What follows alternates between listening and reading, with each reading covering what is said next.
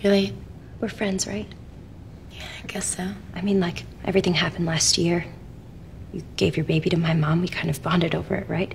What's your point? My point is, is that I know we haven't spent a lot of time together this year, but I thought that we were close enough to be honest with each other. Go ahead. Ask me. Fine. Are you and Finn together? Yes. It's been a couple of weeks. It's like Groundhog's Day with you, Rachel. How many times do you have to make the same mistake to realize it's not going to work out?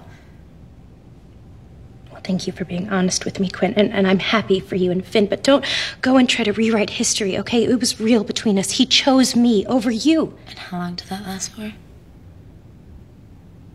Why are you being so mean?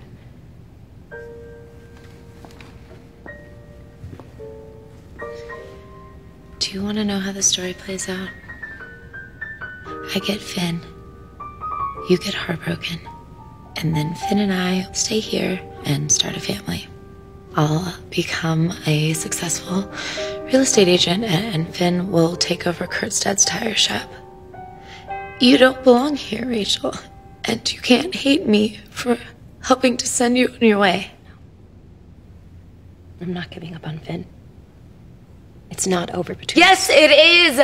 You're so frustrating. And that is why you can't write a good song because you live in this little schoolgirl fantasy of life. Rachel, if you keep looking for that happy ending, then you are never gonna get it right. So we're done with that, and why don't we just return to our work, okay?